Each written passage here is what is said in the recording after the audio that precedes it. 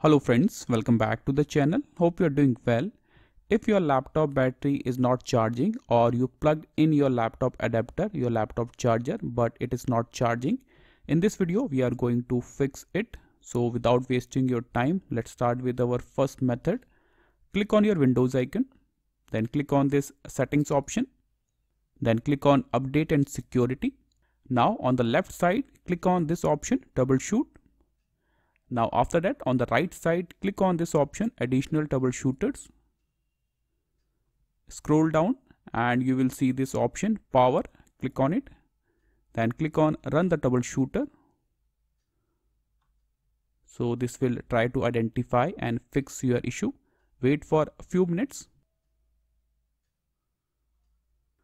Now you will see the option apply this fix. So click on this option. It will fix your battery related issues and in the most cases this troubleshooter will fix your issue. Now move on to our next method if you are still getting the same issue.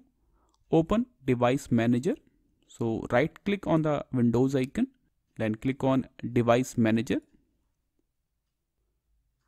Now you will see this option batteries expand this option and these are the two drivers I have. So first update both the drivers one by one right click on the first one then click on update driver then click on search automatically.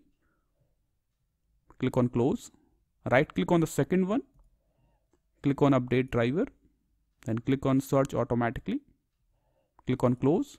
Update both the drivers and after that restart your laptop and check. But if you're still getting the same issue move on to a next step. Uninstall both the drivers right click on the first one then click on uninstall device click on uninstall.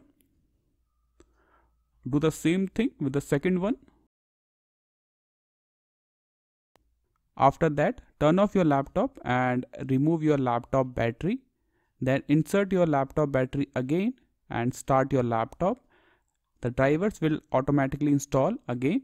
So these are the two steps you can apply two method you can apply to fix your laptop battery issue this is all for the video. Thank you.